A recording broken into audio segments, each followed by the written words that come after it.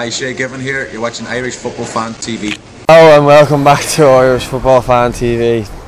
This is our instant match reaction after Denmark 5, Ireland 1 at the Aviva Stadium.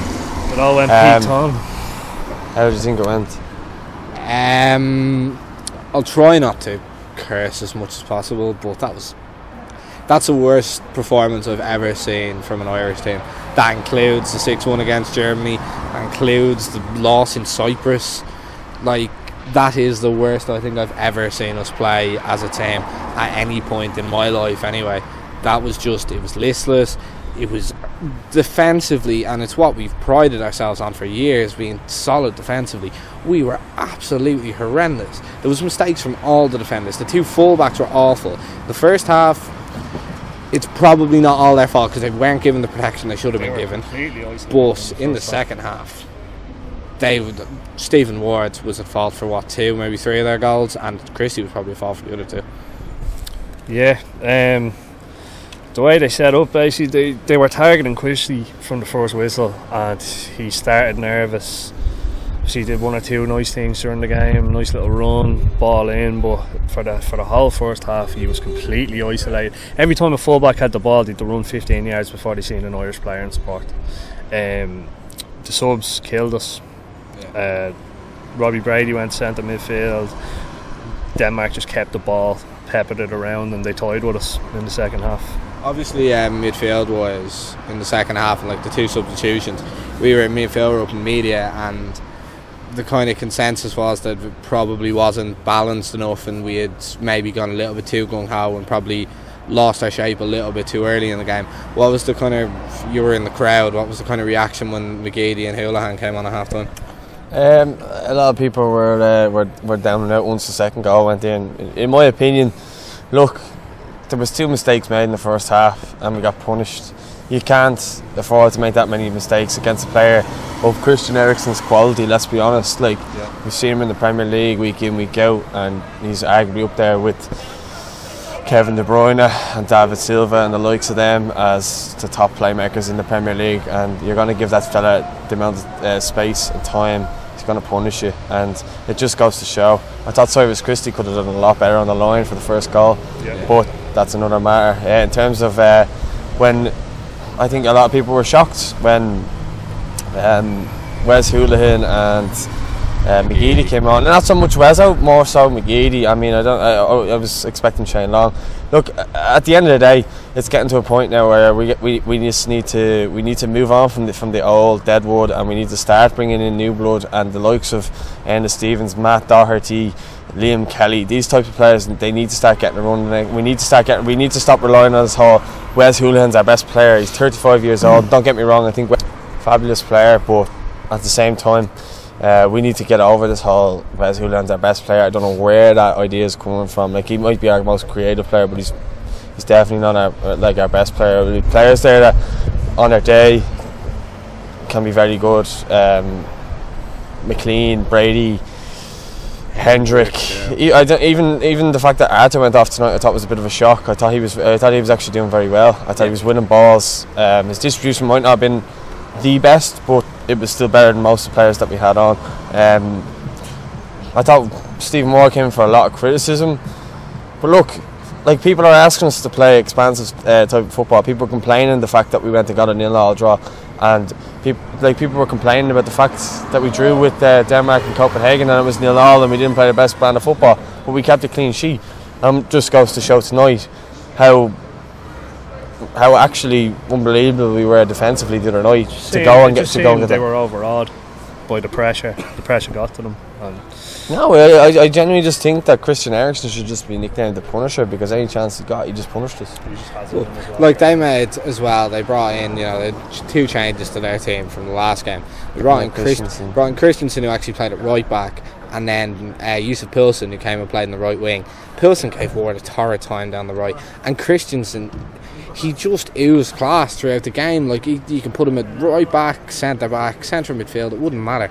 He would have dominated that game. And the second half, the substitutions at half time. Yes, I agree that Hoolahan should get on, and you know we needed we needed goals, we needed creative players. McGeady, I don't disagree with bringing on. I actually don't disagree with the two substitutions. Disagree with the players he brought off because he decided that Robbie Brady and Jeff Hendrick were going to be good enough to contain Delaney, to contain Eriksen, to contain Sisto coming in from the left who causes trouble all night. When he should have maintained the balance, bring off. I would have. I said it to Phil at half time. I'd bring off Ward and put Brady at left back and leave one of the lads in midfield, whether it be Arter, whether it be Meyler, leave one of them in there, and then have Hoolahan and McGeady either so or Hoolahan, McGeady, and McLean behind Murphy. That's fine, and then bring Long on. They we brought on Long too late, but the game was gone already anyway. But I was marking it down towards the end of the game just for something to do to take my mind off it, and I picked nine players out of the current squad who I think it's probably the end of the road for them, and Do you, could you list them off the top of your head? uh, a few of them anyway. McGeady, Hoolahan, um, McShane, and Colin Doyle, obviously, who weren't involved. Um, Stephen Ward, John O'Shea. Um, Stephen Ward. Yeah, I think I still think he's a bit to offer. I think tonight he was exposed against good players. And now I'm not saying oh didn't think yeah, you were saying he didn't get protection, so I- I- yeah, but still, if he's in a one-on-one, si- Christensen wasn't was bombing forward, so he was. he was miss clearing and miscontrol. Look at oh. it. Looking for the Eriksen goal. The Eriksen goal tells you all you need to know about is the third one. You know, he just he passes the ball to Eriksen at the back. His head was gone, and he just it's just stupid mistakes that top players don't make, and better players don't make those mistakes. And we can't at this stage if he's not outstandingly better than the alternatives in a Stevens or Cunningham, whoever you bring in at left back, even Brady at left back. If he's not or miles better than them, he doesn't play because he's older. I would rather have a lad of Ward's quality who is going to be there for five years than have Ward at this stage. He's too old, and that's what we need to. That's what management and fans need to get through their head. At this point, yes, these players might be as good as the lads who are going to come in, but I'd rather have a 24 or 25 year old who can improve than a 32 year old who this is his best and he's only going to go backwards. It's time for this team and this squad to get younger, and the time is now. We can't go another campaign with this group of players. Have you got anything to add there? I was just going to talk about Martin O'Neill, but if you got anything to add, No, I, I agree. Um, obviously, Martin O'Neill was coy about whether or not the, the, the lads were in deal the press conference signed. for the game. Sorry, I'm not. Yeah, we're overly all too dejected. We're all dejected. Um, yeah, but we were in, and obviously the question was brought up, and he, he was deflecting, deflecting, saying he hasn't spoken to John Delaney. So we'll see what happens there. Uh, whether it's a case where he does he does bow out. Look, I was new ideas, Yeah. new players. Exactly. I think for us to now go forward, as you say, Phil, with you know new ideas and everything like that, we New need manager. to. Yeah, it needs to be a new manager. It needs to be a younger manager. It needs to be a different. Chris style. Even a Hughton at this stage. I'm not a And if massive he, if fan he of wants Chris. to, if he if he wants to leave like Brighton to come to Ireland, then fair enough. I don't think. I don't. I don't. I don't see why why he would turn down uh, the opportunity. The most interesting thing I think I took from the If if O'Neill goes uh, at the same time, like I, part of me like O'Neill got it wrong against Serbia, and he went back and he, he, he changed the game plan and he and he came back and he proved us wrong. So you got to give him credit as much as you want to give him. Like you can't always just go with the negative. Like when he did it right, he did do it right, and that's fair.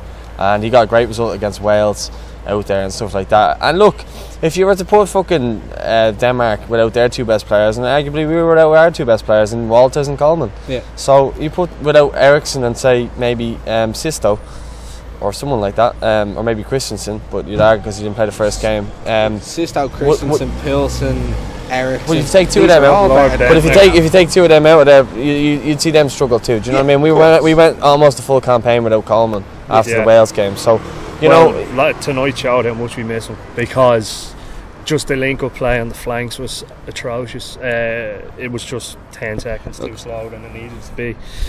Uh, the ball was always late. A uh, case in point, Robbie Bray tried to put Ward through. Ward was too slow to get to it. mm, uh, and Darren Murphy in the first yeah, half. yeah. Yeah. Meyler's ball. Um, I think. Meyler would be another one I'd be putting on your list. yeah, Meyler is actually on my list as a player who's kind of. I'd love to. I look. I'd love to still have Meyler around the. Look, around Meyler had two good games for Ireland, and everyone thought he was a godsend. But, but I think my And I, I, I, I, I, I think think I, I think I think Meyler's a, a very good player, but I don't think he's the answer. no, he's not the answer. And I but still think he's Hourihane around can the come in there and do a job. Yeah, Possibly, absolutely. yeah, but but they're the that's type to of be players you need to look at. Yeah, exactly. So, I, Hor- I totally. Hourihane, Alan Browne, even from Preston, who's been in the squad the last couple of times. This kid, he's playing. He's playing every week in the championship. So why not give him a go? Why Yeah. not give these most, lads a go? most of the players are John O'Shea. You know. yeah. Interesting anyway to see how these contract Exactly. talks pan And out. look, O'Neill, for how you say, tactically changed it after the Serbia game and he got it right in a couple of games and all. His tactics tonight were just ridiculous. They were just stupid. Even David alluded Meyler played right wing.